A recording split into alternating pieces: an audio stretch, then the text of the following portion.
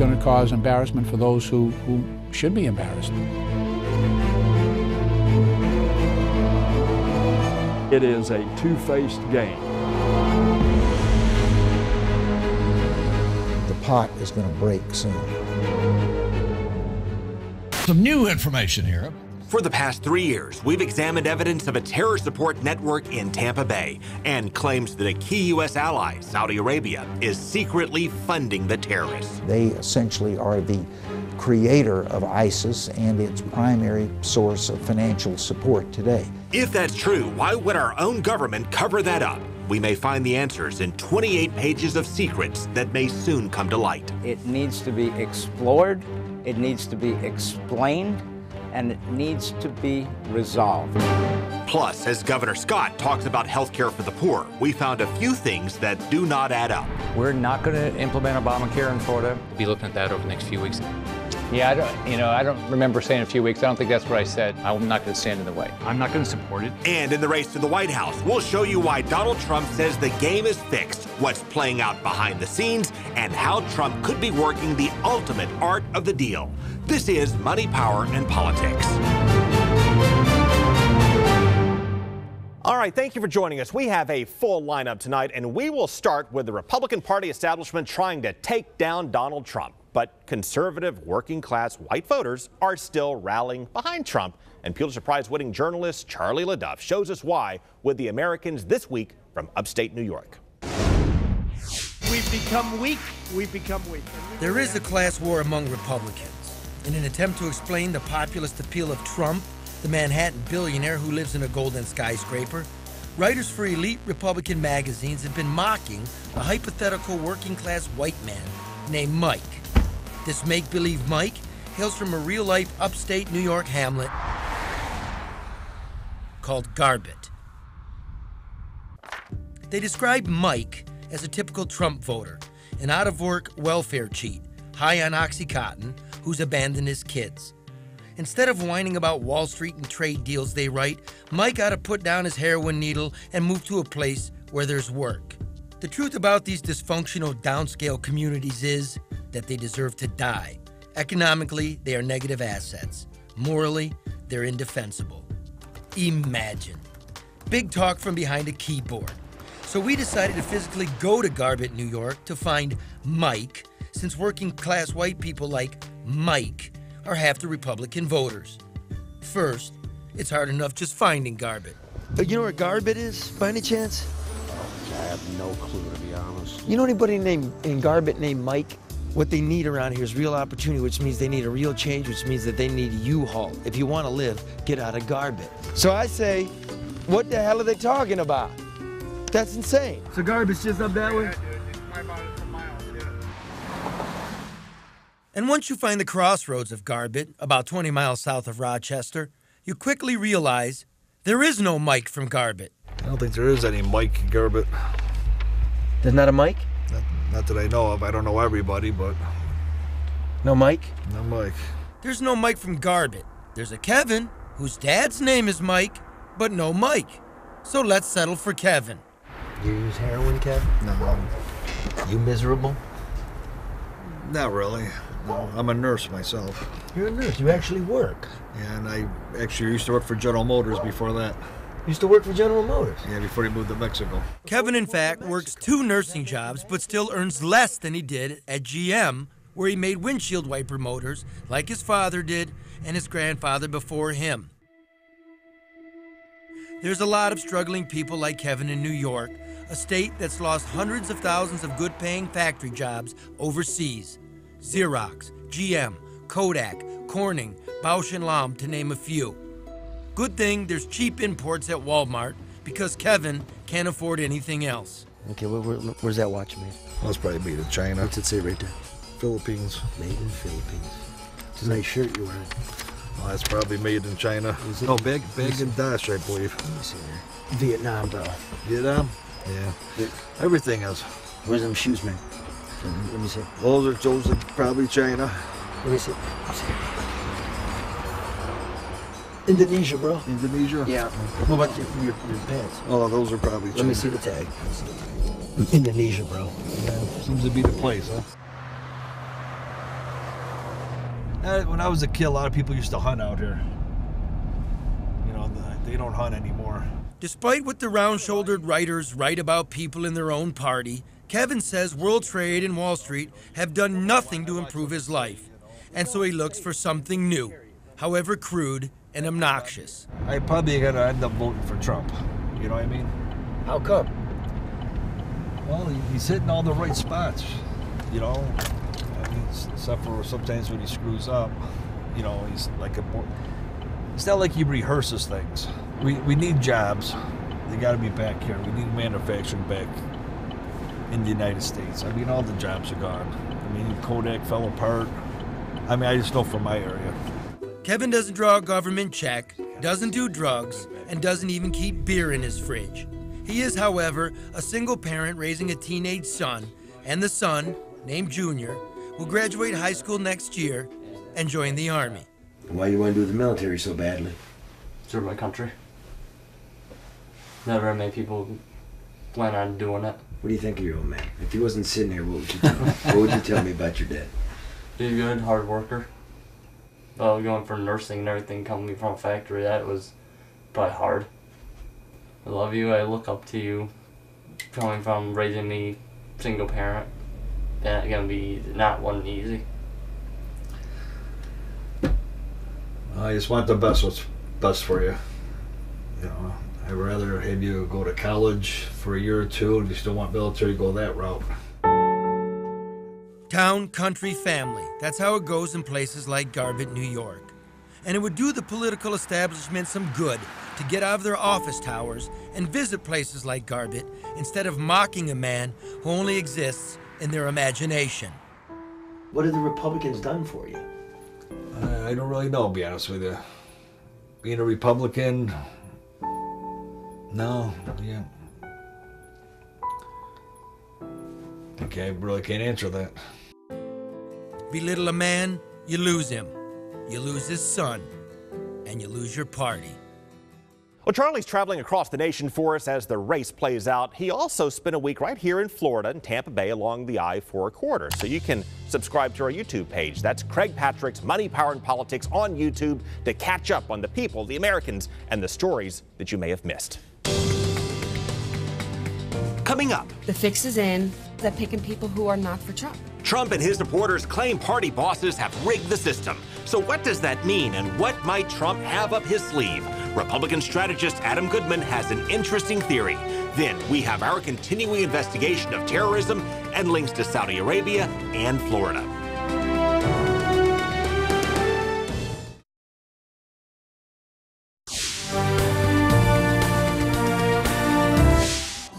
Donald Trump could tank in a contested convention because some of his own delegates appear to be double agents.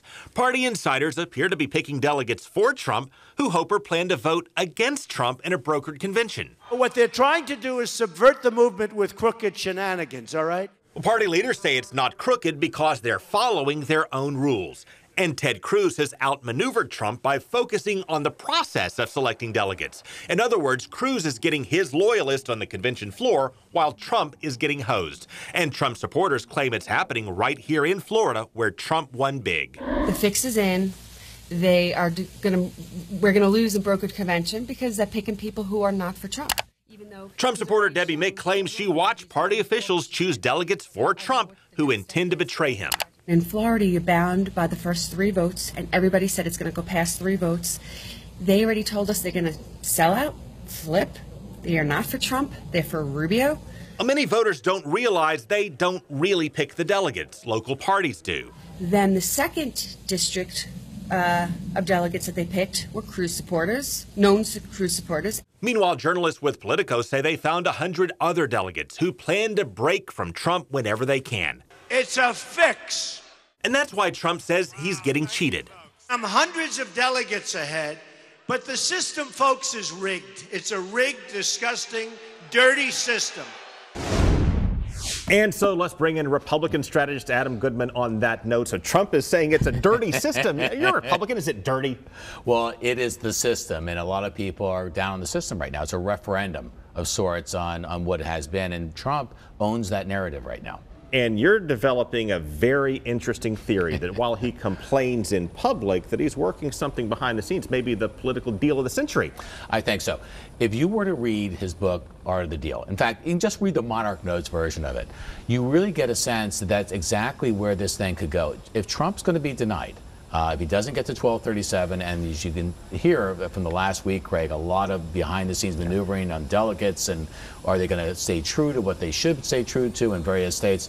Uh, if he looks like he's not going to make it, I think he cuts the deal of the century. He may look to Ted Cruz uh, and say, Ted, look, I, am not going to make it on the first round, and frankly, the establishment will turn around and make sure you don't make it in the second round or the third round let's pull together because right now we had the chips, most of the chips on the table. Why don't we play them? They're both outsiders. Uh, you see how quickly, also, Craig, that uh, Donald Trump has gotten over, you know, uh, his, you might say, his engagement with Marco Rubio and others. Now he likes everybody again, Scott Walker. I think the same could be true here, and it could become the political deal of the century. But with Trump at the top of the ticket, I assume. How does he sell that to Ted Cruz? Ergo, the deal maker of the century. He is a great deal maker, and I think he has more. He will have more delegates. There's really more reason for him to be able to say that. But if both of them say to each other, "Look, we're both outsiders. We're going to be left in the dark here and out on the outside looking in if we don't pull together." And the greatest strength they've got will be on round one, ballot round one. And I think uh, I expect Trump is already having those conversations internally, if not starting to think about how he's going to have that face-to-face with Cruz at some point soon. And there could be uh, even a, an unspoken arrangement or deal or understanding that maybe Donald Trump is not going to be a two term president. Uh, and suddenly you have Ted Cruz that might have an open field four years later. And it's not too late for them to come together. I mean, voodoo economics, uh, uh Bush attacking Reagan is one thing, but I, I, seem to remember Ted Cruz calling Trump a, a sniveling coward. Well, Donald Trump was going to say what he said before already. This is just politics. And uh, I think they would get over it and they would say this is for the good of the country. That's how they'd rationalize it. Based on your theory, do you think this is already taking place behind the scenes, or is he going to roll this out in, in July? Well, I think they're thinking about it. Right now, there's still a possibility that Donald Trump could get to or beyond 1237. He's on a roll right now. He's going to win New York and win New York big. I think he continues to roll into California uh, about six weeks later. He may just make it. So I think that is a card he will save until after California when he sees where the numbers are. And then work the ultimate art of the deal. It could be the ultimate art of the deal. Correct. Interesting theory, Adam. Thank you so much for joining us. Thanks, Craig. Up, we could have a bombshell in the war on terror that leads right through Florida. We have claims of treachery, cover up, and 28 pages of secrets. Without exception, when they have put down the 28 pages, they, their reaction has been, oh my God, I can't believe that uh, this has really happened.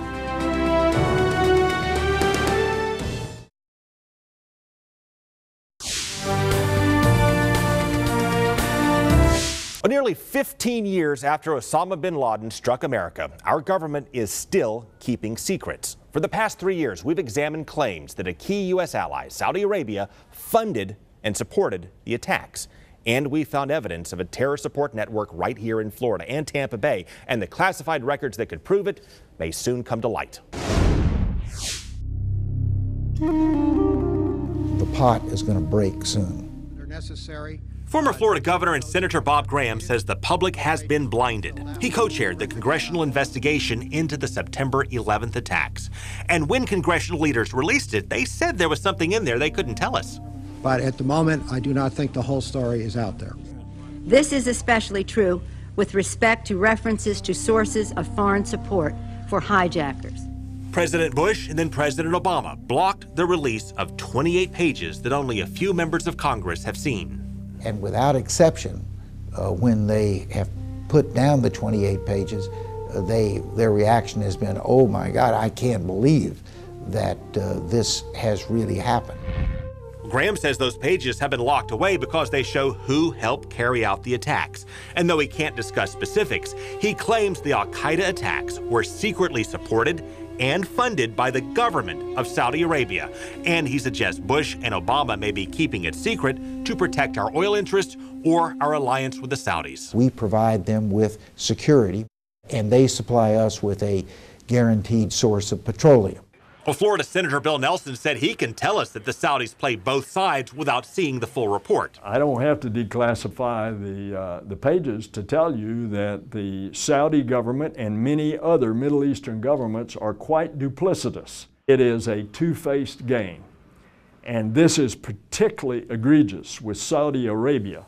But a growing number of Republicans and Democrats in Congress want us to read the full story behind September 11th for ourselves. I strongly believe that these pages contain information that is vital to a full understanding of the attacks on 9 11. Declassify these pages. But there's no reason to classify it anymore. I am embarrassed that they're not declassified. This is going to cause embarrassment for those who, who should be embarrassed. So this week, Fox News asked if President Obama had even read the mysterious 28 pages, and White House Press Secretary Josh Earnest couldn't say. Uh, I, I, just I don't know whether or not he's. Uh, you haven't had a chance to ask him. I have not asked him that. But after that exchange, Graham said he connected with the White House, and it is now reviewing those 28 pages, and the president will decide whether to release them within the next two months. It needs to be explored, it needs to be explained, and it needs to be resolved. Convicted terrorist Zacarias Moussaoui admitted to planning the September 11th attacks, and he testified that high ranking Saudi officials helped bankroll al Qaeda. The Saudi government strongly denies it. Please like our Facebook page for our 30 minute special focused on this investigation. That's Fox 13's Craig Patrick on Facebook. Also, please subscribe to our YouTube channel. Just search for Craig Patrick's Money, Power, Politics. Click subscribe and get caught up. President Obama says interesting things can happen in the fourth quarter of one's term, and we're seeing some very interesting changes right now in his poll numbers. So Evan Axelbank is here to show us what's going on. Barack Obama has been bashed relentlessly by Republicans. He has admitted that he's failed to bring people together, and he's seen his legislative priorities fail. His party even suffered huge losses in 2010 and 2014. But here is Barack Obama, the comeback kid. His approval rating was in the low 40s for much of 2014, and now it's back over 50% for the first time in three years. That's pretty helpful for the Democrats because that reduces the number of uh, voters who disapprove of the president that the eventual Democratic nominee is going to have to, you know, convince to vote vote for vote for them. The turnout is really important, particularly in some states that have uh, significant African American populations, including including a state like Florida, uh, but also a number of the Midwestern Rust Belt states that are swing states. As a point of comparison, George W. Bush's approval rating seven years into his presidency was in the low 30s. And look what happened to the GOP in 2008. Every race is, of course, different, but Barack Obama's rising approval is certainly a cautionary tale for Republicans. Coming up, we fact check Governor Scott's claims on health care and show you the part he's leaving out.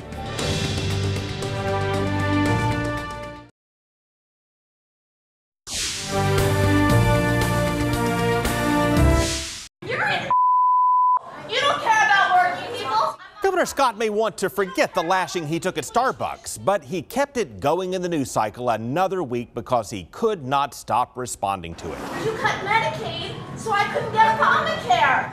With regard to Medicaid expansion, it's a federal program, and I've always said if the federal government wants to pay for their program, they should go ahead and pay for their program. And that's where we have to call out the governor because that's not exactly what he said. I cannot, in good conscience, deny Floridians that needed access to health care. Let's go back to the day the court gave Florida the choice of whether to expand health care for the poor under Obamacare. Whether we uh, can afford to expand Medicaid, uh, but we'll be looking at that over the next few weeks as we look at that opinion. Then later that same day, he went on our same network and said that he had already decided to block it. And when I called him on it, he just denied it. We're not going to implement Obamacare in Florida. How and why did you change your mind on that? Oh, I didn't change my mind at all. We'll be looking at that over the next few weeks. Yeah, I don't, you know, I don't remember saying a few weeks. I don't think that's what I said. Then, as Scott prepared for reelection and polls showed voters favored the Medicaid expansion, Scott suddenly appeared to have a big change of heart. Expanding access to Medicaid services for three years is a compassionate, common sense step forward. He said expanding Medicaid then was a matter of common sense, but notice he never said that he would act out of common sense. And after he won, he revealed that he had no interest in expanding health care for the poor. Are you going to push for Medicaid expansion in some form or another? I'm not going to stand in the way. That's what I've said. Well, he meant he wouldn't have to stand in the way because he would do nothing to get it going in the first place. But the Republican Senate took I won't stand in the way to mean something else. So you're telling me there's a chance? So Scott had to explain by he won't stand in the way, he means that he will totally stand in the way. I'm not going to stand in the way. I'm not going to support it. To recap, Scott said he would take weeks to decide something he had already decided, then oppose federal money to help poor people until he needed their votes, at which point he invoked the memory of his departed mother and said that accepting federal money for poor people was a matter of compassion and common sense. Then, after he won re election, he fought it tooth and nail. Governor Rick Scott believes transparency matters. Now, the last time I pointed that out, the governor's press office called me to complain because I noted Scott's prior support of expanding Medicaid without noting his condition that it be fully funded by the feds for three years. But when I said, wait a minute, wasn't the Senate plan that he opposed also fully federally funded for three years? And that's when his spokeswoman clammed up. Look, I've we've I've always given you all the facts. Why won't you answer the question, sir? And so his lashing at Starbucks, as disrespectful as it may have been, took off on social media, and that's why it keeps going the more our governor responds to it. Last question. Why do you think you have a reputation for not answering questions? Oh gosh, I answer questions. Well, that's a wrap, and thank you for watching Money, Power, and Politics, and have a good week.